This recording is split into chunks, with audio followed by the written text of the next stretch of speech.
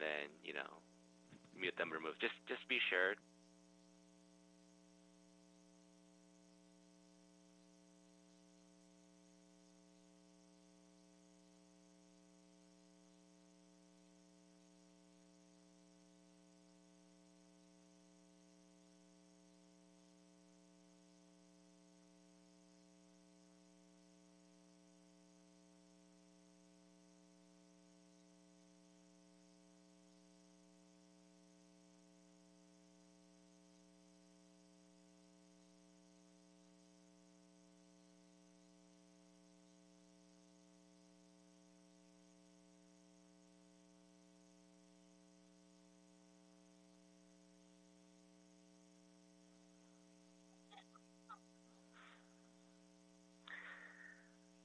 Well, good morning, everyone, and welcome to this uh, special meeting of the Ad Hoc Committee on Comprehensive Job Creation Plan. Uh, I'm Paul Krikorian, Chair of the committee. I'm joined by my colleague, Councilmember Bob Blumenfield, and Councilmember Harris Dawson will be joining us uh, momentarily. Um, so uh, today is May 29th, 2020, and we have three items on today's agenda. Uh, we'll be taking public comment on each of those three items before we uh, take any items up. There will be no general public comment uh, because uh, this is a special meeting, so uh, comment will be limited to the items that are on the agenda today. Uh, and I would ask that all speakers um, be mindful of that because commenting on items not on the agenda today will be considered uh, to be disruptive and uh, will not be permitted. So um, with that, anybody wishing to offer comment uh, on the items listed on the agenda can call 669 900 6833. Again, that's 669 900 6833 and use meeting ID number 987 0899 4173 pound. Again, that's 987 0899 4173 pound. You'll then need to press pound again when you're prompted for uh, participant ID. So with that, uh, we are ready to begin public comment. And uh, we'll go, and by the way, uh, Mr. Blumenfield, we will likely take item number three uh, up first uh, and then return back to item numbers one and two. But we'll be taking public comment on all items on the agenda before we take up any items. So uh, you'll have one minute per item, and uh, if you'd like to speak on multiple items, you'll be limited to two minutes total. Mr. Chair, would you like me to call the roll uh, to get the attendance of the committee members? Yes, let's go ahead. Thank you. Let, uh, thank you for the reminder. Let's go ahead and do that and establish a quorum. Yeah, Council Member Paul Krikorian. Here. Council Member Bob Blumenfield. Present. Council Member Marqueece Harris Dawson.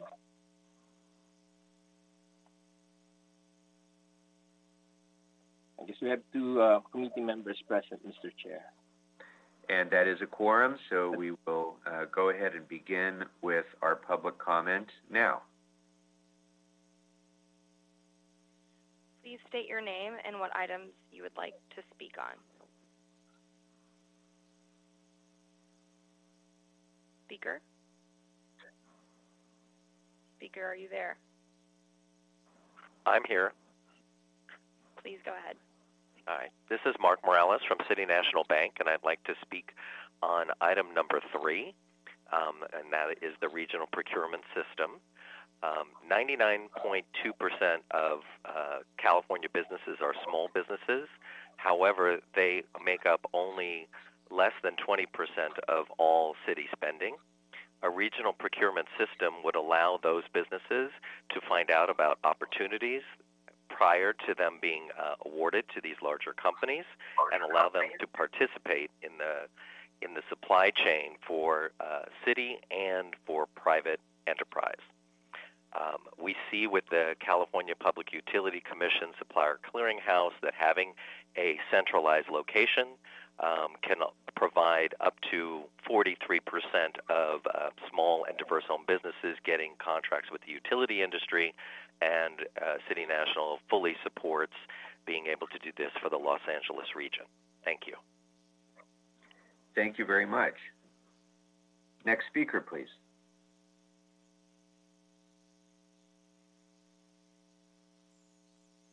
Good morning, and thank you, Council Members Krikorian, Blumenfield, and Harris-Dawson for your leadership and diligence to open opportunities for small businesses to participate in regional procurement and contracting. My name is Sonia Blake. I'm President and CEO of the Valley Economic Alliance. This is such an important issue for the Valley's small businesses. Many of the region's manufacturing, construction, and technology businesses are based in the San Fernando Valley. They're significantly hampered by the current system, and we desperately need to modernize, clarify, and improve it now. Currently, small businesses that have scarce time and resources would need to register in dozens of separate databases to be considered for work in the region. Secondly, the system, the city's procurement platform, LA BAVN, has become unwieldy and can be difficult to navigate. And thirdly, too few businesses are getting the word out about these opportunities. The Alliance is very much in favor of an upgrade of BAVN, creating a regional platform so that businesses can learn about region-wide opportunities with one registration, and conducting extensive outreach to make sure the process is more inclusive. Thank you. Thank you. Next speaker, please. Mary Les, item three. Please state your name for the record. Good morning. record and what item. Good morning, Council uh, Member Krikorian and your committee. This is Mary Leslie, President of the Los Angeles Business Council, and on behalf of over 500 members, I want to express our strong support for ITA's budget request to transform the city's procurement system. Over the last three years, the LABC Institute began an initiative, Compete for LA, to see how the LA region could replicate a model employed for the 2012 London Olympics to open up contract opportunities for small businesses by developing a regional clearinghouse of procurement opportunities and suppliers. That model successfully created a database of over 200,000 businesses and awarded 14,000 contracts to small and medium-sized businesses for the Olympics. The budget request in front of you today will allow ITA to create a platform that can replicate this success by developing a modern regional system open to both public and private opportunities that can leverage a decade's worth of sports and entertainment events leading up to the 2028 Olympics. This system will help the city and the region build an expansive database of local, small, and diverse businesses that can help the city achieve its local higher minority spend goals. We want to thank Councilman Krikorian for his leadership, Ted Ross and his team at ITA, and the CPO, Shannon Hoppus, for all their leadership. Thank you very much. Next speaker, please. Please state your Morning, name for the record and what items you'd like to speak on. Morning, I'm Michael Shilstone with Central City Association. I'd like to speak on item three. Go right ahead. We're strongly supportive of upgrading the city's regional procurement portal to provide greater opportunities for small, minority-owned, and disadvantaged businesses to compete for bids in LA. Despite our current circumstances, Los Angeles is still poised for tremendous public investment and will host many major events leading up to the 2028 Olympics. Our public and private leaders have the chance to ensure that the benefits of these considerable investments reach LA's small businesses, which are the backbone of our economy. It's more important than ever to support our small and disadvantaged businesses. We look forward to the system upgrade moving ahead and encourage that there be a concerted outreach and marketing effort to engage businesses who have been traditionally deterred by the procurement process, as well as prime contractors. Thanks so much. Thank you. Next speaker, please. Please state your name for the record and what items you'd like to speak on. Good morning. My name is Jennifer Ito, and I'm the Research Director with USC Program for Environmental Regional Equity, and I would like to speak to item three. Good morning. Good morning. I just want to express, I, good morning. I just want to express my support for today's budget request to update the city's procurement system. Last year, in November of 2019, we released a study to inform how small businesses and businesses owned by women and people of color in Los Angeles can better access economic opportunities stemming from the different preparations for major events leading up to and including the 2028 Olympics. And we found that, in fact, an updated and centralized procurement system that allows for both the public and private sector to post opportunities is needed, especially for these businesses that don't have the capacity to navigate several portals. So we believe that such a system paired with targeted outreach and capacity building support can help not only drive economic growth and recovery in Los Angeles, but can drive towards more equitable growth. So I want to thank the committee in advance for your leadership on this issue. Thank you very much. Next speaker, please. Please state your name for the record and what items you'd like to speak on. My name is Eric Preven, and I'd like to speak on item number three. All right. Thank you. Go ahead, Mr. Preven. Thank you, Mr. Krikorian. Uh, you know, this is this is a very important area, the idea of procurements, and the great idea to build the ramp to be more accessible for small businesses to get involved in some of the bigger initiatives that we have, like the Olympics and the Paralympics. But the the wrinkle is that we've been doing a medium to terrible job up until now by feeding a series of paneled, impaneled uh, entities that work cooperatively with the city. And, you know, it, it really has been devastating across a lot of different sectors. So I look forward to a transparent process. I also note that we are having a budget coming up, and it's very important that we, in addition to uh, having private sessions with the LABC, the Business Council. It's nice.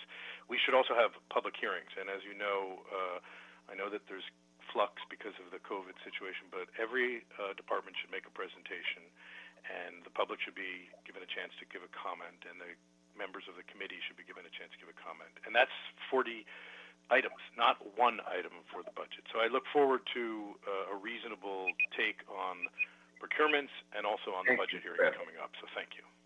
Thank you very much. Next speaker, please. Speaker. Please state your name for the record and what items you'd like to speak on.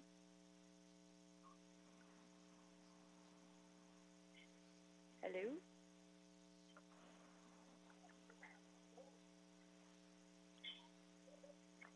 Go ahead, speaker.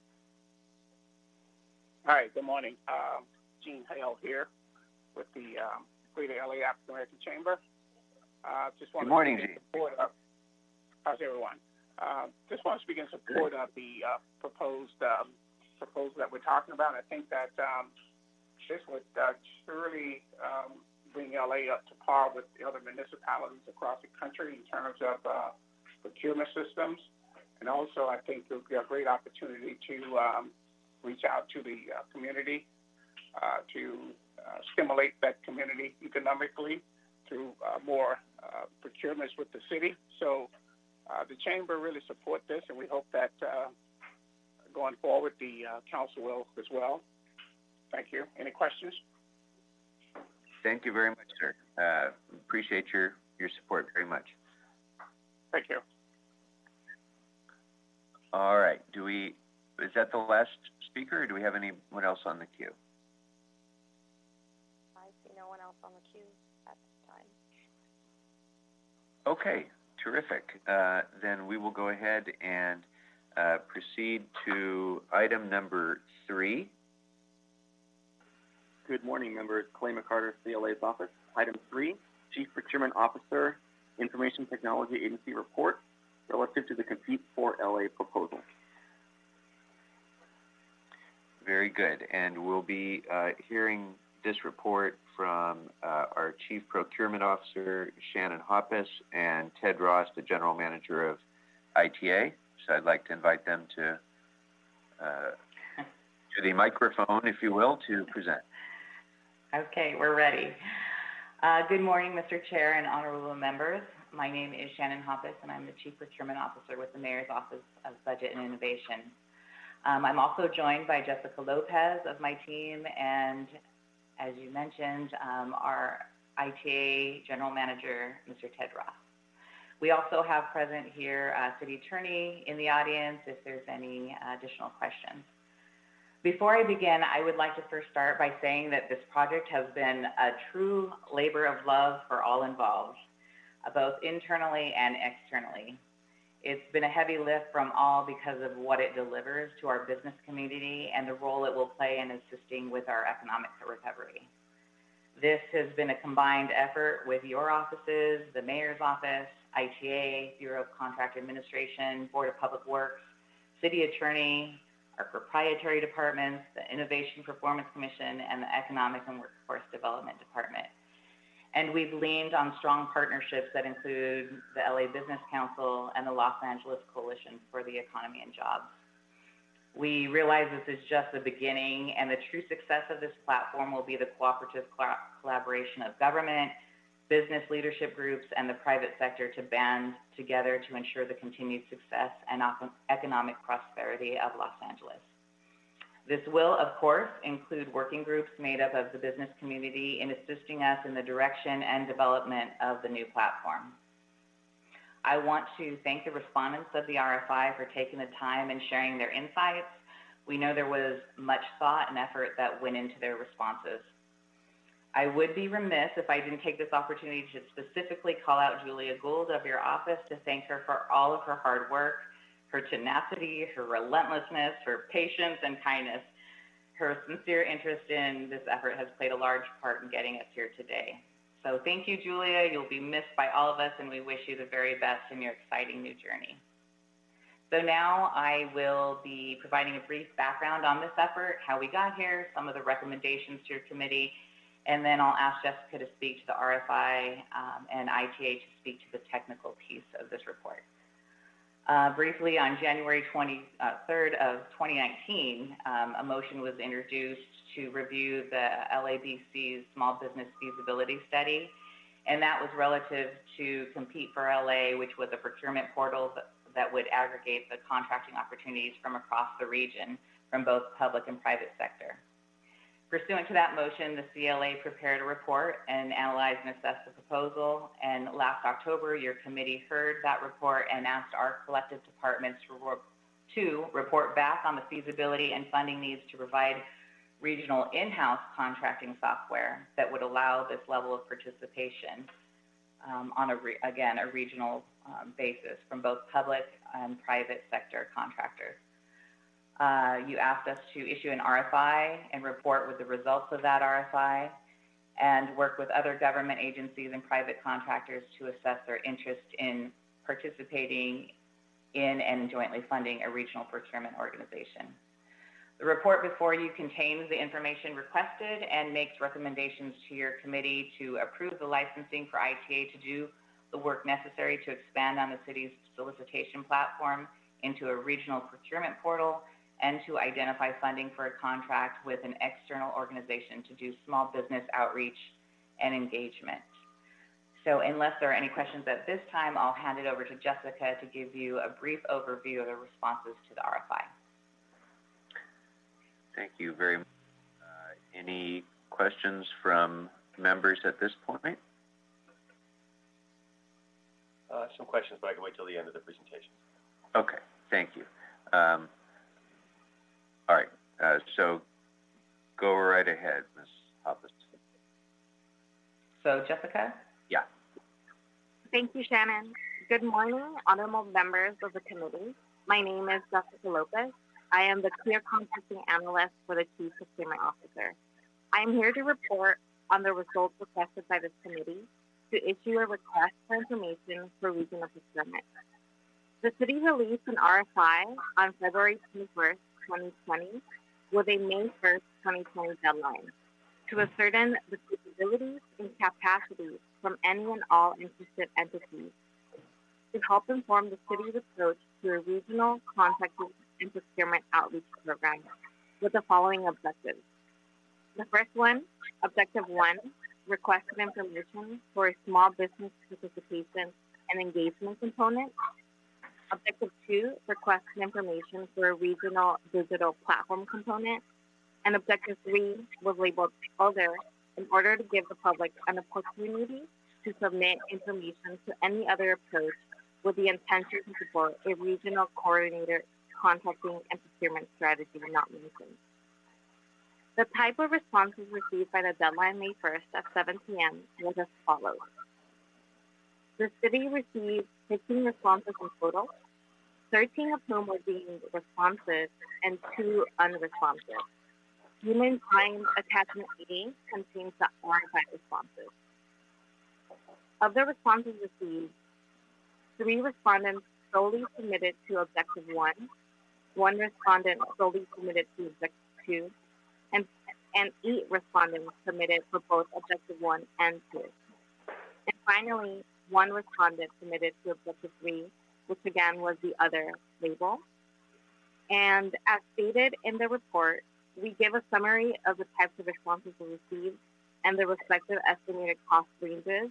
And at this time, um, I will hand it over back to Shannon. Oh, actually, actually, yes, actually, I will hand it back over to um, the general manager of ITA to speak to the technology component. Thank you. Thank you very much. Mr. Ross, welcome.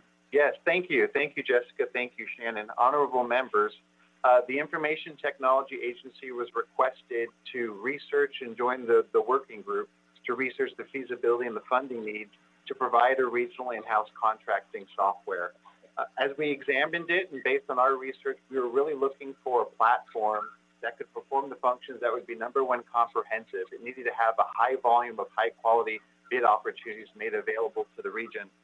Uh, it also needed to be comprehensive in that all certifications were fully digital and accessible. Number two, it needed to be easy to use. Uh, we felt was extremely important, and we heard some of the comments that were provided in public comment. This needs to be easy to use and easy accessible, not just for big businesses and medium-sized businesses, that even smaller businesses can fully engage with it and fully compete. And number three, it had to be secure. We want to make sure that we're providing a secure portal for our valued digital assets, our valued partners. Now, LA BAVN has been the city's current procurement and solicitation system for the last 17 years. It's been a one-stop shop. Over 56,000 companies are registered BAVN. They search for all the city's bid opportunities. They register as MBE, veteran, local-owned businesses, disabled-owned, etc.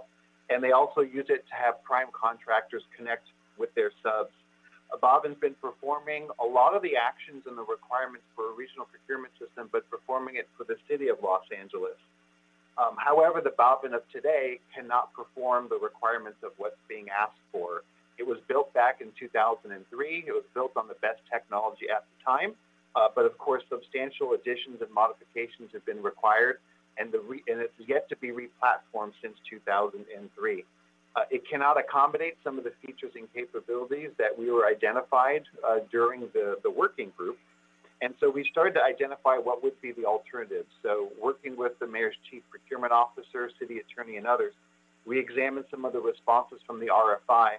And based on the discussion, based on the research, our proposal is to go ahead and replace the current LA BAVN platform with a modern customer relationship management software we happen to have current contracts in place. We did a proof of concept to even examine based on the requirements of the software, and we identified that a Salesforce platform would handle not only the existing requirements of the BAVN platform, but the additional features and functions that are being requested for a regional platform. And based on all of our analysis and all of our initial usage, it would very clearly be a comprehensive system, it would be an easy to use system, and it would be a very secure system. Uh, based on our estimates and availability of funding, we expect under optimal circumstances that we could do of the full replacement between six and eight months upon receipt of funding. Um, this is actually a very aggressive and fast time frame that we can perform because of the existing experience and the existing capabilities of the BAVN system. Uh, what we would do is we would roll that out. It would be it include the ability to publish bid opportunities. It would include the prime to sub outreach that was mentioned before. Uh, it would also include enhanced certifications and then additional features that they get identified by our business community and by our procurement officer. Uh, we would be able to institute them also. The annual cost of the licenses is, as mentioned in the report, $996,286. Uh, um, this actually represents a 55% discount, aggressively negotiated to get to this. And what it does is it provides all the licenses for both the internal city users as well as the bid, the, those who will be submitting and publishing their bids. Um, the, as you'll notice in the cost, really the, the large bulk of it is simply the software licensing itself. The ITA also requires unfreezing the authority for three positions to simply allow us the appropriate staffing to do the development. Um, I now stand open for any additional questions related to this, and it's been a pleasure to work on such an important project that's important to our business community. Thank you very much, Mr. Ross. Appreciate it. Um, is there anybody else who uh, needed to speak before we go to questions? If not, uh, we'll go first to Mr. Blumenfield. Great. Well, uh, thank you, Mr. Chair, and, and uh, thank you very much for, for spearheading this and working on this. I think this is really important, and I want to also give a big shout out to the LA Business Council um, working with you on this. Uh, it's just it's so important that we we figure out ways to really bring in businesses, and we've talked about this before. Uh, just a couple of questions, and then I, I have one concern, um, which I, I, think we can figure out. But uh, on the question side, one is, does the fiscal crisis and the proposed hiring freeze affect the implementation of this? And I don't know who in the group would answer that question, but but how does that play into this? I think. Go ahead. I, I just Ted Ross, uh, general manager of ITA. Uh, I'd say on, on one element, yes. So uh, there's been funding sources identified in the report. So we've been working with various entities to identify how this gets funded. Um, and so we have some initial proposed funding sources to make this happen. Of course, this is also an annual cost. This is around $996,000 that are annual licenses to simply subscribe for the software. As you can see, the labor side, which is usually the most expensive part of a project, is, is being included with city staffing, some of our best staff who are able to perform this function. The request we have is the unfreeze. So in a nutshell, this is a tough financial situation. There is some initial funding sources identified. There would need to be ongoing sources of funding, as well as we are impacted by a freeze condition, and there are three positions that we include in the recommendations for an unfreeze. And I defer to Shannon if she has anything else to add to that. Yes, it, it's all been impacted, but this was, again, a heavy lift from everyone trying to come together on this. Um, but we did recommend a fee study be conducted, um, so it does provide the ongoing support necessary to keep the platform up to date. Um, the fee study would only uh, require, you know, both most basic fees uh, to um, cover licensing and, and staffing. Um, and again, our, our team would work together to conduct that and see what that would look like. So the hiring freeze is not going to be an impediment? The, for, for, from ITA's perspective, there are three positions that we request unfreeze, but that's the impediment specifically related to this project. Okay.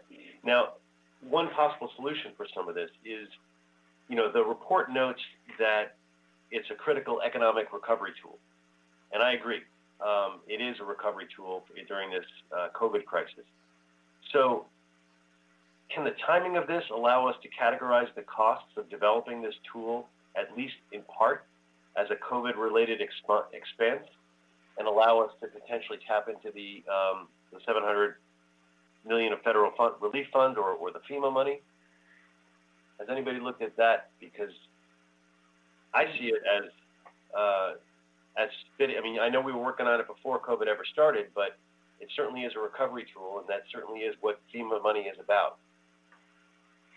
Well, we're definitely having those discussions and um, seeing what the appetite is, but we we believe the same that it, it may may qualify. We we don't know as of yet, but we're to continue to pursue those who, options. Whose appetite? Because my appetite. I'm very hungry. uh, but but it's a serious question, though. I mean, who, right. are we talking about, you know, the feds and you know Trump not approving it, or are we talking about the internal city appetite for for adding this into our COVID response? I believe it's all of the above. Okay. Well, I, I think we need to make Mr. Chair, a recommendation in this that uh, first and foremost, we put this forward as a COVID response funding item uh, because I think we can, you know, we can test the waters on it. And certainly, it would make more sense. And it and that goes to my concern, which is some of the money, a very small amount of it, well, not that small, is coming from the IPC, from the Innovation Committee. And uh, I'm very reluctant to spend the IPC money without going through the process. I chair the committee that, you know, helped create the IPC. It comes through my committee. They, I've turned back a lot of proposals that folks have used to try to just tap that money directly without going through the process of going through the uh, IPC commission and then coming to my committee and we weigh it against all the other things that are in the innovation fund. Now I love this. Don't get me wrong. For me, this would make a lot of sense. But even though I chair the committee, I, I'm reluctant to just make that decision unilaterally or have have that decision made outside of the process of the IPC when we've turned away every other attempt to do this exact thing, which is to tap directly into the IPC uh, and not let it go through the process that we've committed and all of the folks who are painstakingly working on that. So, Mr. Chair, I'd like to, to, to find a different way to fund that portion, and perhaps at the very least, you know, we could get some money out of the COVID response that could cover the IPC, so we don't have to basically uh, undo what the IPC is. So, Mr. Blumenfield, I share all of your concerns uh, and thoughts. Um, this has been uh, a laborious effort uh, to try to identify in a in a budget that is already, um, as you know, this year um, in a uh, state of significant distress uh, to identify available funding sources to to get us off the ground. Um, but I also agree with you fully that if ever there was an expenditure that was appropriate to our uh, rapid economic recovery from the COVID-19 crisis, this is it.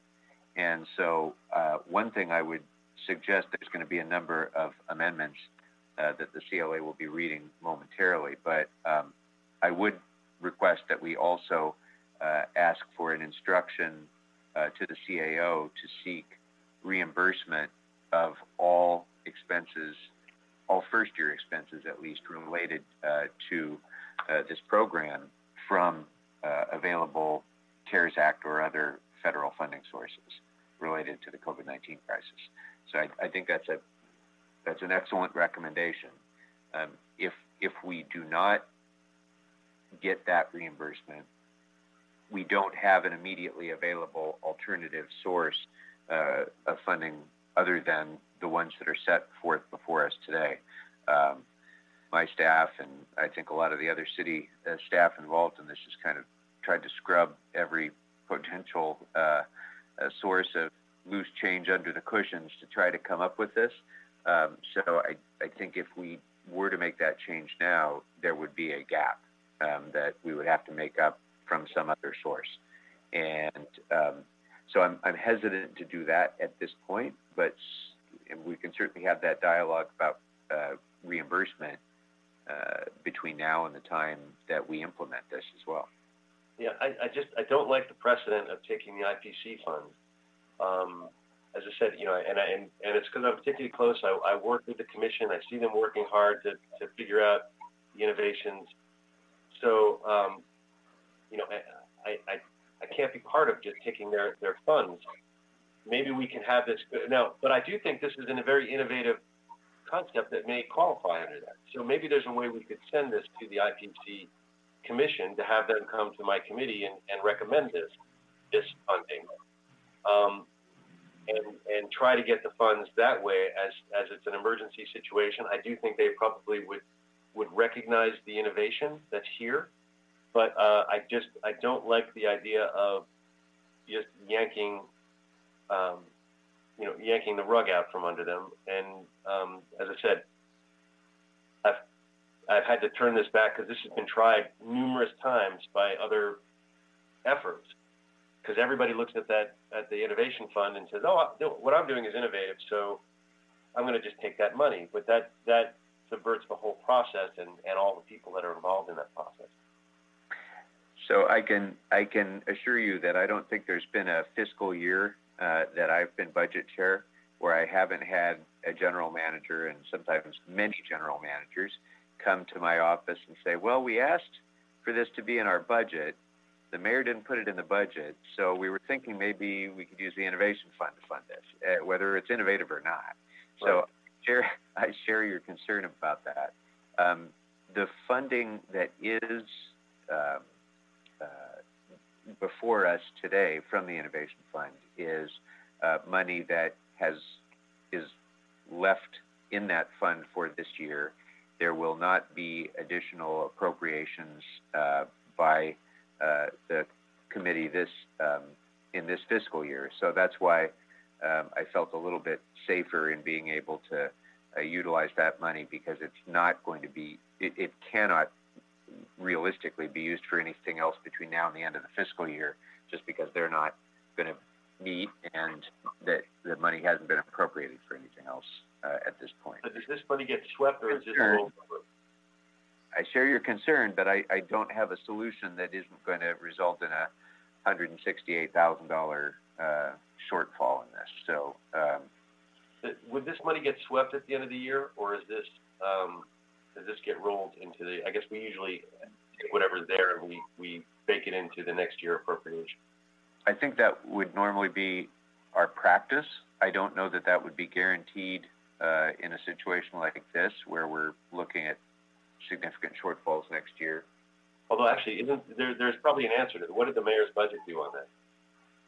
Uh, I'm not expecting you to know off the top of your head, uh, but maybe the staff knows.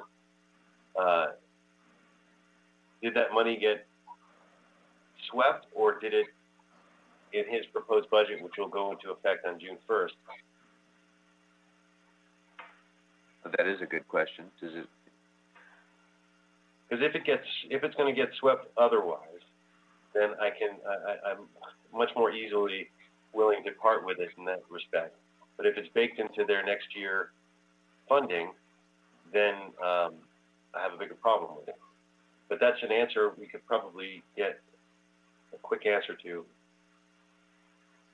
It's a knowable answer. Um, I can have my staff Yes, we, we, yeah, and we can certainly follow up with the budget team. Um, all I had done was, um, talk to the commission to find out that they actually did receive funding for next fiscal year, but the conversation did not include whether or not it rolled over this year's funds into the next. So, um, I, I didn't have all of the information to, to know that. If, if for the record it, it matters, we, we were actually submitting a proposal to IPC for some of these components in the replatforming. So to your point, um, we can certainly follow through with that application and, and actually submit it.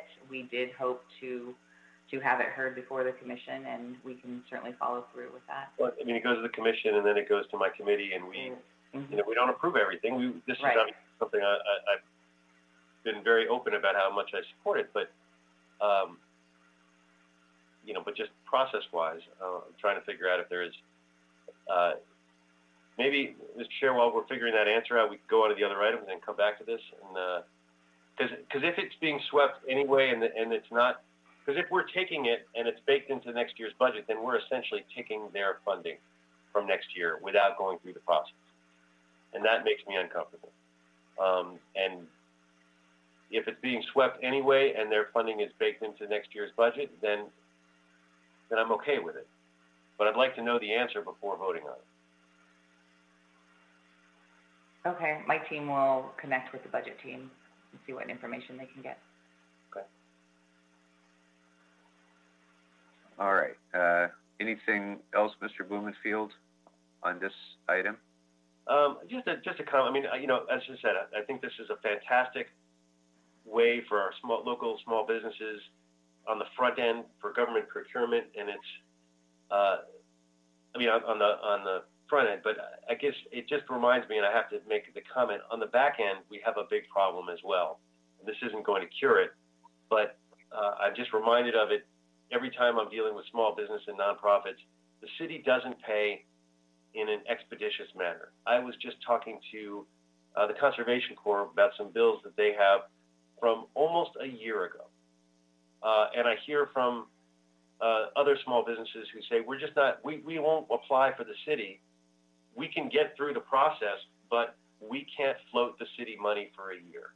It's just not, and it's just not right uh, for us to be asking small businesses to float their payment for a year or, or more. And so as, as business friendly and local business as we make this front end, which is wonderful that we need to do it, we really undercut all the good work that we're about to do if we can't solve the back end and actually get people paid in a timely manner. And uh, I, I put that out there just because it's part and parcel of the, the problem that we're solving. Uh, it is, it, but it in no way detracts from the fact that we also have to work on the front end, which is this, and I'm 100% uh, for what we're doing here.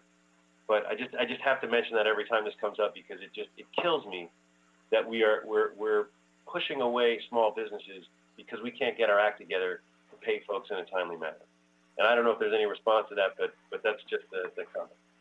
Well, I couldn't agree with you more. And um, I, that one of the, as you know, the council uh, within the COVID-19 crisis instructed that all accounts payable be paid to small local businesses within 15 days of submission. That's pretty aggressive, I, I understand, but it, in an emergency like this, it's particularly important. But it's important all the time for just the reason you, you said. Uh, you know, big corporation can can carry those payables, but um, but a small business just can't. Any other uh, comments or from staff on that? If I may speak to that, that that is of great importance to our team, and that is part of what we are, are looking at. It's it's really a holistic um, approach to this. Technology only being one piece of um, the barriers. So we have to look at policy, process, and and that really what is is what our team is tasked to do.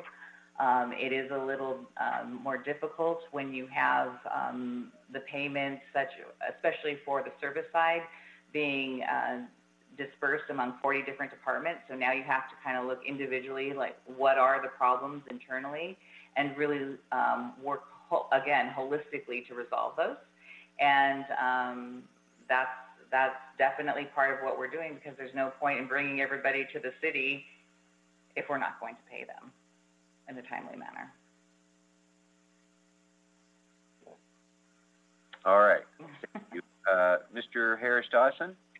Thank you, uh, thank you, Mr. Chair, and thank you to the staff uh, for their work on this issue. Uh, I want to, um, you know, associate myself with the comments of Mr. Blumenfield uh, for a couple reasons. One, um, the process is always important, as frustrating as it can be sometimes, especially when we feel the kind of pressure that we all feel now. Uh, it's easy to, to skip processes, but I do think the processes on funding is, is important. Uh, I also, uh, you know, want to point out and uh, not let this discussion pass without noting uh, that we actually got a proposal or a presentation from a local minority women-owned business about this topic uh, that you all reviewed and decided it wasn't the way to go. Um, that proposal didn't make didn't um, survive the process, right? Uh, what we didn't do was shorten the process because it's very important for us to, as opposed to, as an example, we could say, instead of giving money to Salesforce, who presumably will pay sales tax in San Francisco, uh, we could do business with a local business that would pay sales tax here. Uh, we don't do that. We have a process. You all look at it, you examine it, you figure out what works, what's cheapest, uh, and what's best. And so I think um, just like that went through the process, I think uh, this ought to go through our, our financing process. Uh, I had another question that is uh, related to the moment that we're in now and that I think we're going to be in for a while. Uh, that may be, and Ted, if you tell me if this is this is mission drift or not.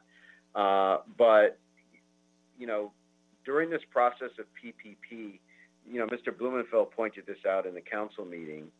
Um, the, the, the federal paycheck protection program, uh, if we had had quick availability for businesses in the city of Los Angeles to apply for that uh, funding, the city could have seen exponentially more resources in the pockets of Angelenos right away. Uh, instead, we were kind of hodgepodge uh, kind of doing it. Will uh, an outfit like Salesforce allow ITA to tailor things uh, and tailor this interface so that uh, program, federal programs like that might be accessed through it in addition to applying for city contracts? Yeah, absolutely. I, the short answer is yes. One of the reasons why we, you know, during our evaluation the various systems and capabilities we were looking at, we wanted to make sure that we had a robust platform that could handle both interfaces with other existing platforms, as well as allow us the ability to configure and tailor. Now, not knowing the exact details of how exactly that would get implemented, that's always the it depends side of it. But the answer is this is a very robust platform that allows BAVN to do much more than what we've known BAVN to be able to accomplish. And that's exactly why we selected this platform. Got it. I, I appreciate that. I just think things like that are going to be as important as applying for contracts is going to be accessing the A that, you know, has come and that uh, will continue to, I think, continue to come over the next term. Uh, that concludes my comments, Mr. Chair. And Mr. Chair, if I may add one more point yes. to that. Yes, I- I please. think- Thank you, Mr. Harris Dawson. Go ahead, Mr. Ross. I, I, I think the council member raises an extremely important point.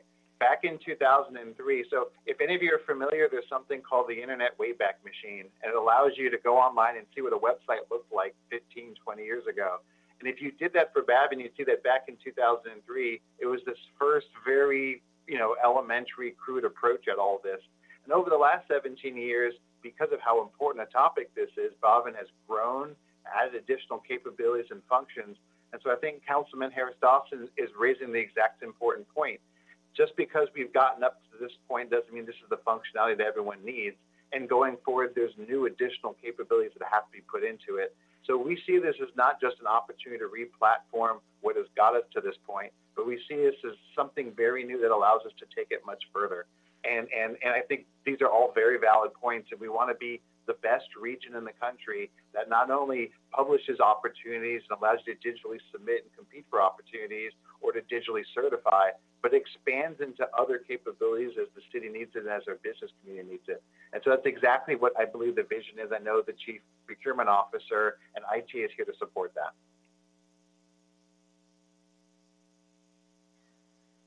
And speaking, you don't really have to go way back, uh, but Mr. Blumenfield and I will remember just not uh, more than a few years ago working on uh, some of these issues where we were trying to do outreach to our local uh, businesses. And we didn't even have a comprehensive list of email addresses for the businesses that have business uh, gross receipts tax uh, business licenses in the city. So um, we've you know made some progress, but God knows we still have a long way to go in institutionalizing the the process of being able to communicate, do outreach, uh, and you know uh, maximize inclusion for our small business community uh, here in LA. So um, it's a it's an important point, Mr. Harris Dawson. Thank you. Uh, okay. Any other comments on this? Mr. Chair, one, one last item, if you don't mind. Yeah. Yes, please go ahead. I, I think one thing that was that was both stated during public comment and is also something that we would like to reinforce. We believe the ease of use is a critical component of this system, and so we've been in conversations with the mayor's chief procurement officer and others to try to identify a focus group in the early stages that will help weigh in on some of the requirements, some of the pain points, et cetera, so that we're truly building a system that is responsive to our customers, and then also leverage that focus group as a part of the testing process. Uh, this should not be a, city, a system built by the city for the city. This is a system built by the city for the region. And so we want to make sure that we're very clear who our customers are and build it according to their needs. And that is one of the terrific strengths of this proposal. Um, this is a really rare opportunity to uh, spend less than a million dollars to potentially leverage billions of dollars of investment in events, in infrastructure, uh, in so many other uh, areas of procurement um, that should be coming to local businesses but isn't.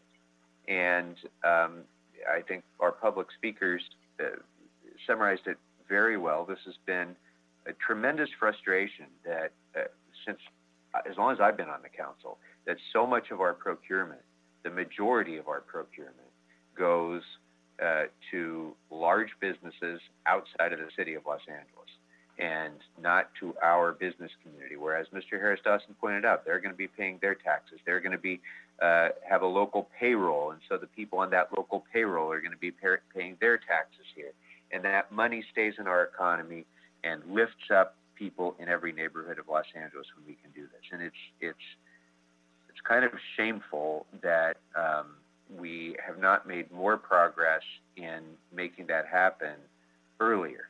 But now we have an opportunity that we have to seize. This um, Compete for LA uh, program and updating BAVN and uh, bringing this in-house so that the city of Los Angeles is the hub of Southern California uh, procurement potentially for these big events is a, a, an extraordinary opportunity, and I think will help uh, help us rapidly recover uh, from the economic uh, downturn that we've suffered. And um, this is going to be one of the keys to lifting us up and out of um, the situation that we're in. And I think that in part because of this, and because of the many events that we have coming up, and notably the 2028 Olympics, but all of the other things that we have going. Investment in transportation infrastructure under Measure M, all of the other things that the city, county, this region are investing in locally. Um, this gives us a, a, real opportunity to outpace uh, the rest of the country in our recovery, and um, and we just can't miss that opportunity. So um, I've done a little bit more digging, Mr. Blumenfield, as we've been uh, talking, and um, because I think your concern about the Innovation Fund is is well taken. Um, what I would like to suggest as an alternative for that amount uh, of money, the $168,000, is um, we can set aside. Um, there is funding available to be loaned from the Public Works Trust Fund, as this is a, you know, issue directly related to the work of the Public Works Trust Fund. They can be loaned to pay for this and then repaid out of the proceeds that we'll be realizing uh, from the Compete for LA program.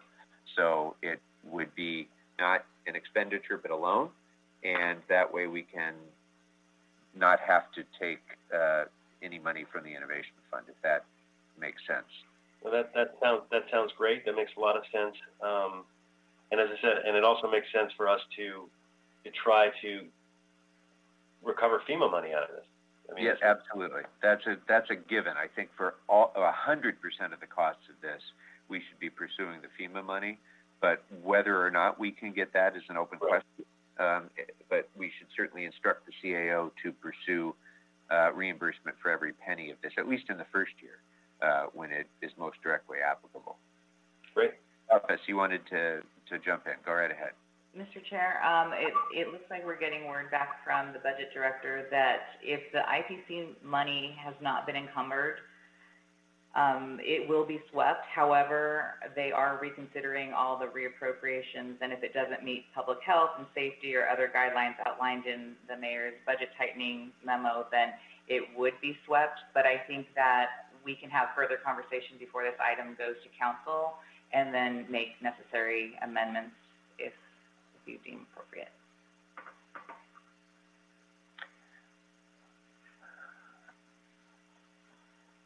So I think, um, thank you for that. And uh, that just means that this, like everything else in our budget, is in, you know, a significant amount of flux as we move forward through our June budget finance hearings to try to determine how we um, uh, will proceed. But I think given that, I still would like to proceed with um, increasing the loan to the Public Works Trust Fund, and that will be our default position uh, so that we won't have any further delay in considering funding sources. Just approve that now and uh, move forward and uh, um, not have uh, any more uncertainty over over whether or not we're we're proceeding. So that would be my suggestion if there's no objection. Agree, second the motion, or, or just agree with it. Okay. I Um, concur. All right, very good. Um, so with that, we do have a number of amendments that are going to need to be read in. So I'd like to ask the CLA to go ahead and read those. Yes, Mr. Chair, Clay McCarter with the CLA's office. So just to clarify, these amendments will, will cover everything we've, we've been speaking about and adding a few others. First, we would recommend that the committee delete funding from the Innovation Performance Fund, amend recommendation number two to change the title of the fund from Innovation Performance Commission Fund so, to ITA LA BAVN. Three, amend recommendation number two to change the account and title of the fund from Economic Development Trust Fund to account number 22S983 Economic Development Projects UDAG. Four, approve a Public Works Trust Fund loan in an amount not to exceed 579,000 for the LA BAVN replacement project with a repayment schedule of three years, subject to the approval of the Board of Public Works to be repaid either by LA BAVN user fees, direct appropriation from the general fund, or other identified sources. Five, authorize and appropriate the transfer of loan proceeds from the Public Works Trust Fund, number 834, Department 50, to Information Technology Agency Fund, number 132, account number 3040. Six, instruct the clerk to place on the earliest council meeting in fiscal year 2021 the following. Instruct the controller to transfer $996,286 from FY 1920 Fund Number 100, Department 32, Account 3040, Contractual Services, to FY 2021 Fund Number 100, Department 32, Account 3040, Contractual Services. Number seven, authorize the CAO to make necessary technical changes to effectuate the intent of this report. And number eight, Mr. Chair, the CLA would recommend that we be included on the instruction to the CAO to look for any federal funding to reimburse the cost of this project. I absolutely agree with that. Um, one question, uh, the, you indicated we were, uh, we were deleting the Innovation Fund appropriation. Is it still necessary then to amend recommendation two to change the title of the fund? That is correct. No, it is not.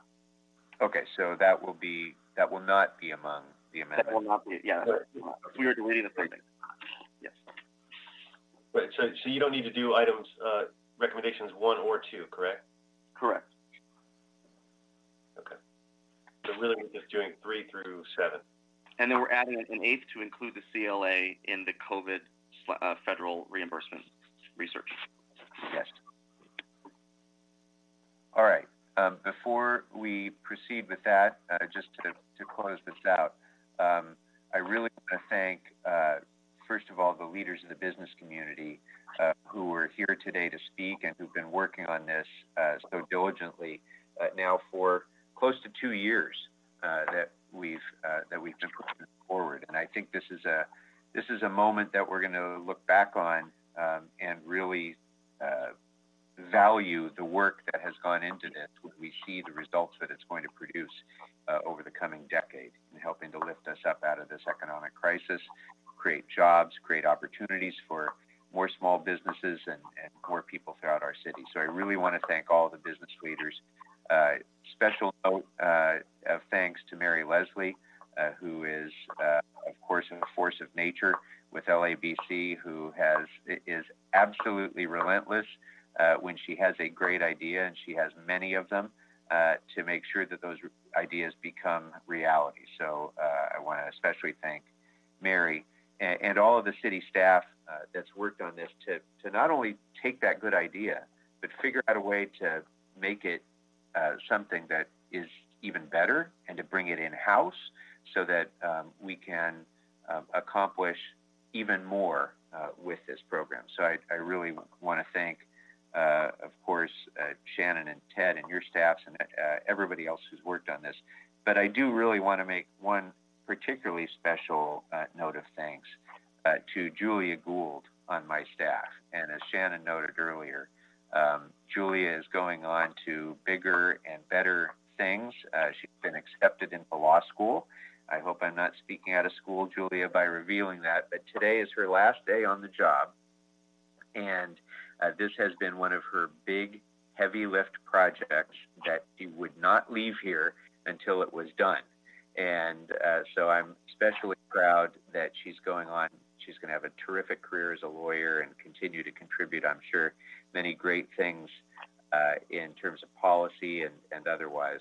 She's been a stellar member of my staff, and I will miss her, but this is a great legacy for her to leave behind on her last day of work. So, Julia, thank you. And uh, uh, with that, um, I uh, will go ahead and let's go and call the roll. Yes. Um, so, Mr. Chair, for this item, uh, the committee's action is to approve as amended. Um, so, Councilmember Paul Krikorian. Aye. Councilmember Bob Blumenfield. Aye. Councilmember Marquis Harris Dawson. Yes. That's the aye vote, sir. That measure passes as amended. Thank you all very much. Uh, terrific work. And that will bring us then to item number one. Item number one is the EWDD report relative to the department's business response unit. Uh, good morning, council members. Hope everyone's doing well. Uh, Daisy Hernandez here with the Economic and Workforce Development Department. Good morning. You, good morning. Um, before you is a series of reports from EWDD requesting for you to note and file quarterly metric reports for the Business Response Unit. As part of the jobs plan, a centralized business response unit, or the BRU, was established to serve as the first point of contact to assist businesses through the city's processes, requirements, and resources. Uh, due to COVID-19, now more than ever, businesses in the city need help, and the BRU has been front and center in providing assistance. Now, the reports before you provide details about BRU activities from the inception of the program back in April 2018 through September 2019, including the number of businesses assisted, the average time it takes to resolve issues, and the trends in the types of problems for which businesses are seeking assistance. But at this time, I would like to take this opportunity actually to provide a more current verbal update on BRU activities. Uh, to date, the BRU has assisted approximately 730 businesses. Um, uh, this is from the inception of the program until now. Now, this includes an increased number of calls since co- the COVID crisis started. Since March, we have assisted over 150 businesses, and about 50% of those calls are COVID related. Now, other calls were for questions regarding business tax registration, questions about starting a business, and questions about LA BAVN. The average response time for our BRU calls is um, zero to three days, um, meaning that zero meaning that we resolve the issues or, or provide the assistance right away on the call. Now, EWDD proactively markets the BRU um, to make sure that business owners know where to go for help when they need it. Prior to COVID-19, BRU staff attended over 30 community events to promote the program. Um, that concludes my presentation. I will be happy to answer any questions you have. Thank you very much. And I'm actually pleased to hear that you've had such an uptick uh, during the COVID-19 crisis because that is an indication that people are aware uh, that uh, the BRU exists and are that's that's part of the reason for having it in the first place. So um, I'm really glad to hear that you've been able to take care of the needs of so many businesses during this time. Uh, questions, members?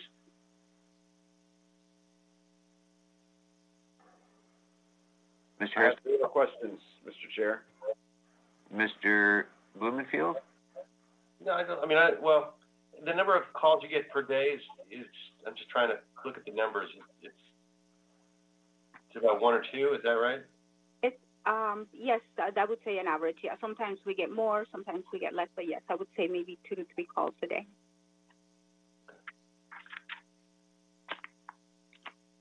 Okay.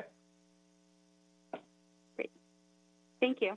All right, thank you very much. Um, and for now, we're going to note and file that report, but going forward, we're going to probably uh, count on having more frequent uh, reports uh, because there has been quite a long delay, uh, unfortunately, in that. So that's no one's fault. But going forward, we, we will probably be having reports at least quarterly. All right, um, so we will, without objection, we'll go ahead and note and file the EWDD reports, and that brings us to item number two.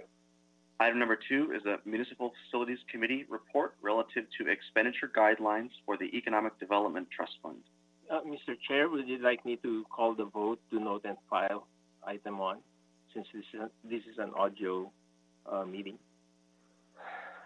Yes, I guess we need to do that. Thank you for the reminder. Uh, Councilmember Paul Krikorian, Aye. Councilmember Bob Blumenfield, Aye. Councilmember Marquis Harris Dawson, Yes. and three aye votes, sir. Item is Thank- noted and filed. Thank you. So that will bring us to item number two then.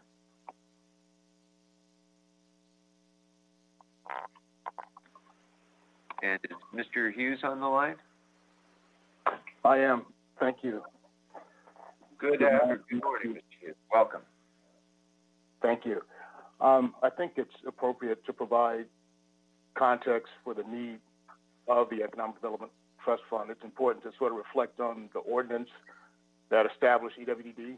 Um, and so there is an ordinance that certainly created EWD and transferred and consolidated the economic development powers and duties of the former Community Development Department and other city departments. Um, but it also added a provision specifically to establish a procedure for conveyance of real property interests owned or controlled by the city for economic development purposes. And so the asset management framework uh, commissioned by, by this Committee on Jobs provides procedure for conveyance of property for economic development and other uses, including housing and public facilities.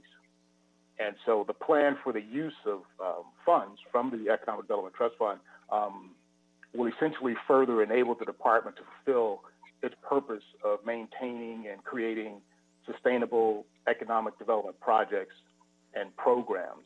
And the EDTF guidelines, in short, provide for gap financing, property acquisition, property enhancement, and economic development programs and projects.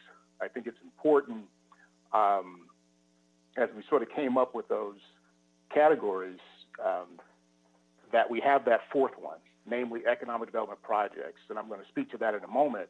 But just going back over the gap financing category, uh, more specifically, um, a project that requires EDTFs to, to fill a financial shortfall in the development pro forma as determined by EWD underwriting guidelines. Um, monies can be injected into those deals essentially to assist with uh, debt service um, for any potential uh, project, typically retail, industrial, warehouse, office space, et cetera. Um, under the Property Acquisition Project, or PAP, a project that requires EDTF funds to purchase private or other public property for the creation of economic development opportunities, and certainly um, property enhancement projects, or PEP, um, whereby funds can be utilized uh, for projects that requires construction, renovation, or rehabilitation of properties. Um, but lastly, um, the other category is economic development projects. And this gives us a bit more latitude in terms of the types of projects to be funded because this category allows for funding of projects uh, for human service programs specific to job creation, technical assistance, professional services, or economic development programs and projects. And sort of in the spirit of, you know, item three that we were talking about earlier, um, it's worth noting that the department supports the need to upgrade uh, the city's procurement platform, and uh, not just in word, but um, through the EDTF. Um, the department is able to provide a tangible support um, as a procurement enhancement tool that will essentially have a direct positive impact on the business community. And I, I think it's you know no coincidence that we were talking about um, the procurement platform and upgrading BAVN, and here it is we're talking about the EDTF, which in some ways um, can certainly help the backfill and pay for those types of projects and programs, um, along with a host of others. And so um, the Economic Development Trust Fund, essentially, the way in which it gets its money, the way in which it was envisioned by Jobs Committee, is through the net sales proceeds of properties that were intended for economic development, and that's clear, that's understandable. Um, many of the properties that have been sold um, have been either encumbered with other funds, whereby nothing inured to the department or to the trust fund, or there were essentially double escrows in the case of uh, some of the former redevelopment agency properties, again, where there were net, no net sales proceeds that inured to the city. Uh, but there are some deals that are sort of in the pipeline whereby um, the fund will be funded in the manner in which sort of originally contemplated. Um, but thankfully, um, the department has had some some other dollars that have sort of been reappropriated to the trust fund to help us um, and help the city in its efforts to move forward with um, a variety of programs and projects, not the least of all, um, the one that uh, we just heard a moment ago. Uh, but that's essentially, hopefully, that provides some background to the trust fund and where we are now. And I'm available to answer questions if you all have any.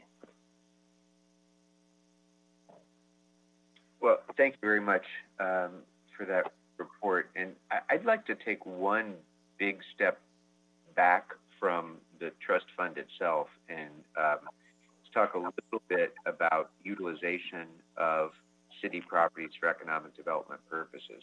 Um, for many years, it was a massive struggle even to identify the parcels that the city owned.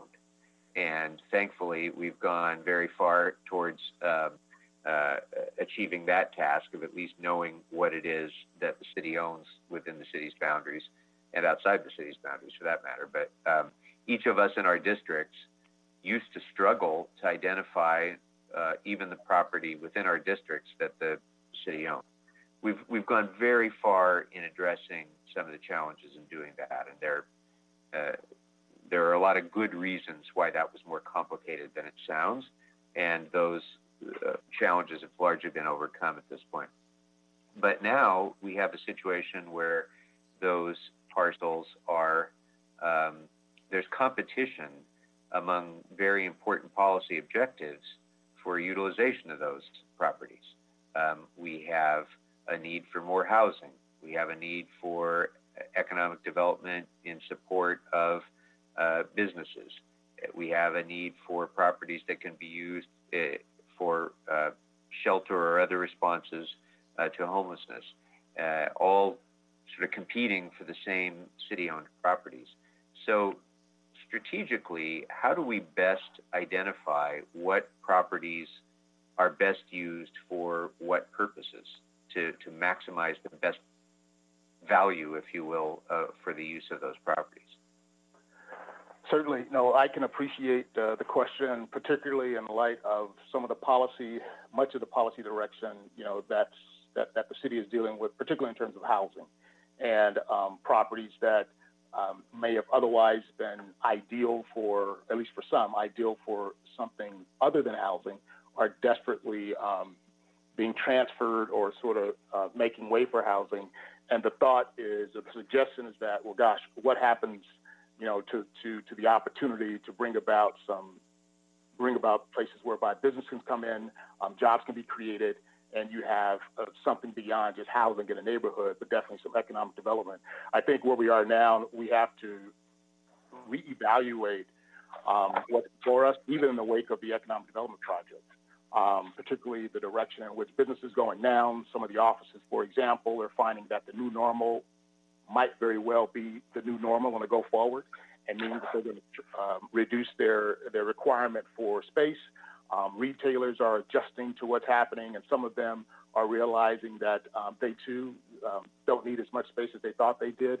Um, and so that's the market forces, and much of that will ultimately drive what happens on the dirt that the city owns and even that private concerns have. And so um, certainly zoning will, will, also impact that. But there are certain instances and, and um, whereby certain properties, uh, based on zoning, it is singularly um, suited best for economic development, i.e., warehousing and things of that sort. So, in the instance wherein there are those opportunities, Um, I know there's a few council districts where we're doing some feasibility studies even now that are suited for economic development and really nothing but economic development, given what's impacting those, the property very nearby. And so those opportunities we'll continue to pursue. But I got to tell you, in light of um, what's happening right now and some of the um, some of the concerns from the larger uh, commercial community, commercial development community, and development community, there are definitely concerns about you know um, getting too far ahead of the game because without getting into the weeds, the financing that's necessary to put the deals together, the assumptions that go into who's going to fill the space, all those things are sort of in flux right now, and they bring about a lot of different questions. So, but in the interest of the city, we have the benefit of owning many properties in fee, and um, while we can sort of mitigate some of the concerns based on how we underwrite and or dispose or sell the property, um, the bigger issue is still there. And so this is fluid, it's iterative, but uh, we'll continue to be as nimble as possible to try to address the concerns and take advantage of any opportunities that might present themselves, notwithstanding the, the concerns. Very good. Thank you very much. Uh, Mr. Harris-Dawson, any questions on this item? Nope. Mr. Blumenfield? Um, just just a question of scale. Uh, have how many properties have gone into the Economic Development Trust Fund so far? Is there uh, a lot of funding there from these properties at the moment? Great question. No, there isn't. Um, we've received some net sales proceeds as a result of uh, lease payments, um, but that total was south of $100,000.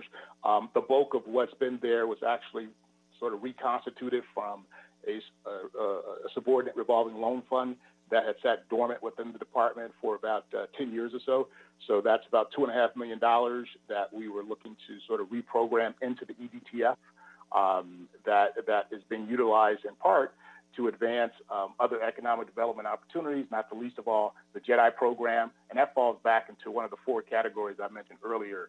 Um, so even in that case, whereby we have some money in the EDTF, um, much of that was derived from means other than what was envisioned, which is the net sales proceeds of, of, of real property. So um, we'll see what happens in the next, you know, year or so to really help uh, bankroll that trust fund. But right now, Councilmember, um, it's been funded through means other than what was originally envisioned.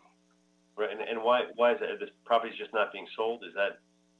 Oh no, the properties that have been sold, there there hasn't been any net sales proceeds that would inure to the EDTF.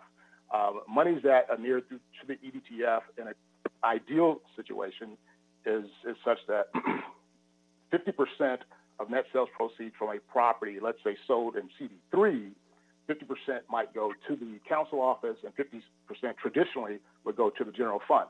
Um, now, if a property is sold for economic development purposes, the 50% that would go to the general fund now inures to the Economic Workforce Development Department, more specifically the EDTF. But all of that is predicated on there being net sales proceeds. So while we have sold, we have sold properties and developments have resulted um, from those dispositions, uh, there have not been any net sales proceeds. And I gave earlier the example of um, some of the option properties where nothing would inure to us. There are other instances when we've disposed of property for economic development purposes of former housing assets. And in those instances, the development resulted in business and economic development, but the net sales proceeds reverted to the low income housing trust fund. So, but for that, uh, 50% of those proceeds would have come to the EDTF. So as we continue to unload property and properties are not otherwise encumbered, then the appropriate amount would come to the EDTF. Okay. And the guidelines, they've been in place or since like 2016 or, or it's been a while, right?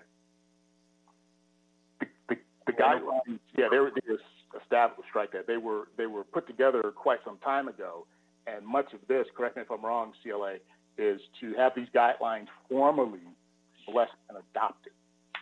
Um, yeah, policy, there were a couple things that happened.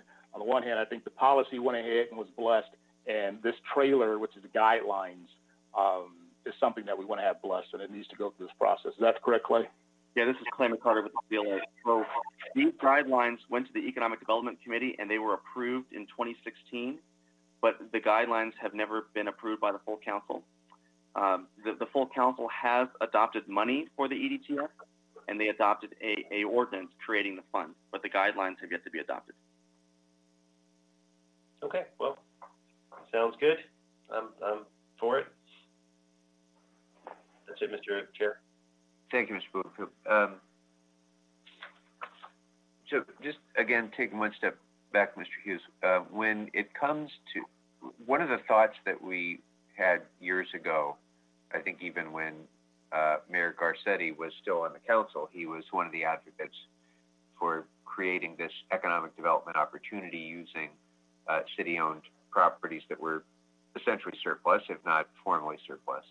Um, and the first step in that was, as I mentioned, identifying what those potential utilizable properties would be, and then essentially unleashing the power of the private sector to identify where there might be opportunities for investment that would create jobs and create opportunities in neighborhoods uh, using uh, city-owned property in one way or the other.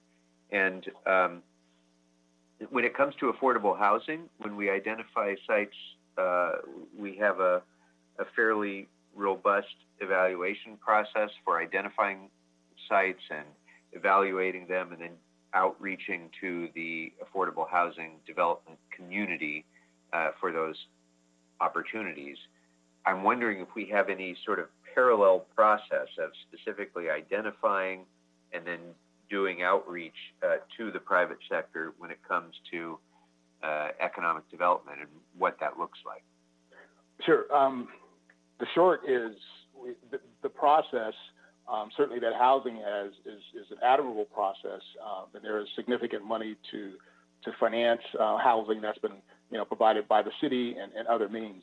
In the case of economic development, um, our process is to assess property either as a result of a motion or to proactively go out and identify city-owned property um, to make the uh, conduct a feasibility study um, to make certain that there is a possibility um, for some type of use, particularly economic development use that will benefit the community and the city specifically, um, and then market that opportunity vis-a-vis requests for proposals. And there are a number of developers that have expressed interest in properties uh, that the city owns, um, some of which only to find out that has been dedicated for housing, but there are other instances whereby we have a laundry list of developers, specifically of commercial development, um, that are interested in, in, in developing city-owned assets. Um, there has there's been several occasions. We just released an RFP, I think here just a week and a half ago, um, to the development community, roughly about an eight-acre site, um, likely to be a large mixed-use development.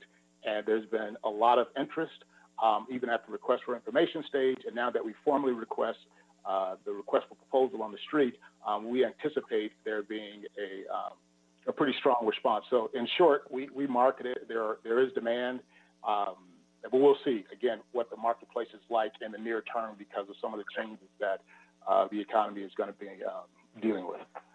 Yeah. All right. Uh, very good. Any other uh, comments? Any question? Uh, other comments or questions from members? All right. We do have um, some amendments on this, which I again like to ask the CLA to read into the record, please. Certainly, Clay McCarter, CLA. We recommend that the committee adopt the report as amended to clarify that one, only projects on city-owned properties will be forwarded to the Municipal Facilities Committee for review and approval. Two, instruct the CAO and EWDD with the assistance of the CLA to report with a detailed property review and evaluation process for economic development opportunity sites modeled after the affordable housing opportunity sites process. Three, instruct the CLA to report on the Economic Development Trust Fund guidelines and strategies for increasing the fund's revenue. Four, add assistance to small businesses under the eligible project, project categories. And five, require City Council approval for all EDTF funding allocations. Very good. Uh, any questions or comments on any of the amendments? If not, we'll go ahead and call the roll. Um, Councilmember Paul Krikorian, Aye. Councilmember Bob Blumenfield, Blumenfield, aye. Councilmember Marquise Harris Dawson. Yes. We got three ayes, sir. Very good. Uh, is there any other business before the committee? The desk is clear, sir. All right, seeing none, and with, again, our great gratitude and best wishes to Julia Gould, we are adjourned.